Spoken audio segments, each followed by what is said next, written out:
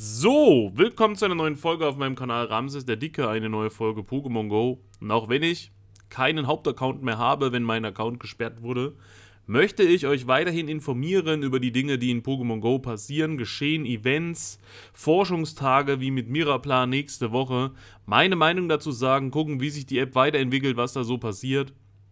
Und ich habe auch schon einen kleinen Plan mir ausgedacht, wie es für mich auch weitergeht. Dazu wird aber ein extra Video folgen. Da werdet ihr demnächst was hören.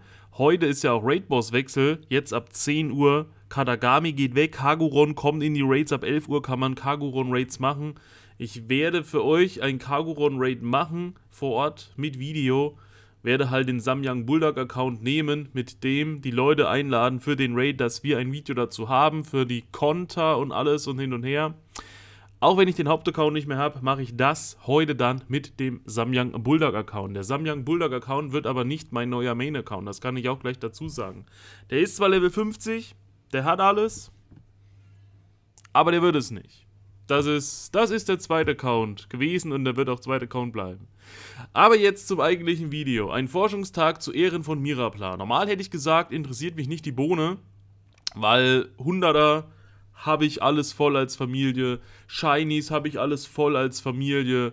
Und ja, so nützlich ist das meiner Meinung nach auch nicht. Forschungstag ist es sowieso immer dieses stressige Stops drehen. Wer keine Stops hat, kann nichts drehen, kriegt keine Aufgaben, hat dann auch nicht die erhöhte Shiny-Rate, weil er keine Pokémon-Encounter bekommt, ist immer ein bisschen komplizierter. Es ist immer dieses leidige Thema. Während der Coronis-Phase, während der Corona-Zeit, gab es ja im Heute-Tab dann zehn Seiten, immer mit den gleichen Aufgaben, für jeden gleich und die gleiche Menge, die man abarbeiten konnte, um diese Begegnungen zu kriegen. Das war ein faires Spielerlebnis für alle Spieler.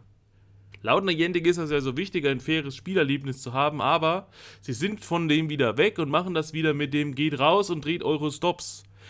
Wo du jetzt wieder einen Nachteil hast durch deinen Wohnort oder einen Vorteil hast durch deinen Wohnort. Wie sieht es jetzt aber aus, wenn ich gar keinen Account habe oder neu anfange? Was wäre dann wichtig? Auf was muss ich achten? So. Ich würde natürlich den Tag spielen, um Spaß zu haben. Ich würde gucken, dass ich einen Shiny bekomme, wenn ich noch keinen Shiny habe. Ich würde Bonbons sammeln, vielleicht doch mal eins hochziehen, weil das ja ganz cool ist, wenn ich nichts Besseres habe als Pflanzenangreifer. Das ganze Ding findet statt am Sonntag, dem 17. September. Das ist nächste Woche Sonntag, 14 bis 17 Uhr, wieder drei Stunden. Wenn ihr die Fotoscheiben von Pokestops dreht, erhaltet ihr For Forschungsaufgaben, für deren Abschluss begegnet ihr Mirapla. Ist nicht das erste Mal, dass sowas da ist, wie gesagt. Kennt man eigentlich.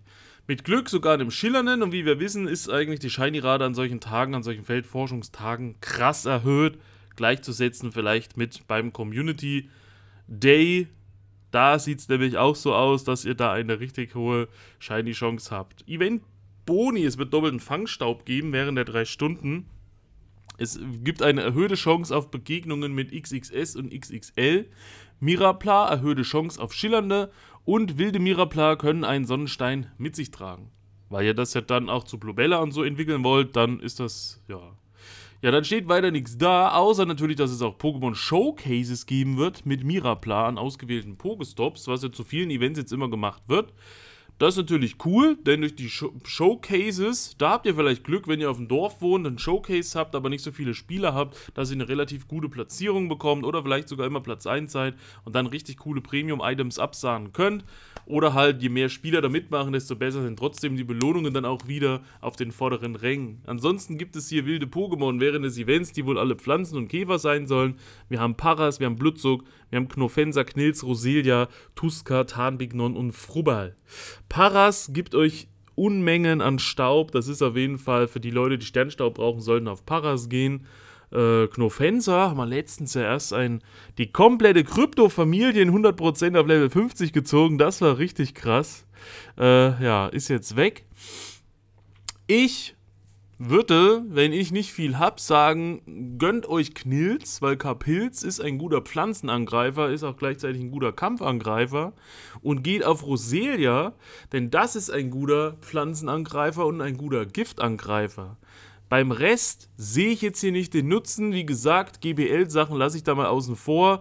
Ich finde also am interessantesten von dem ganzen Event Knilz und Roselia als Pokémon zu farmen, da sich ein gutes Exemplar zu sichern, Bonbons mitzunehmen, dann was hochzuziehen, damit ihr ein paar gute Pflanzenangreifer habt.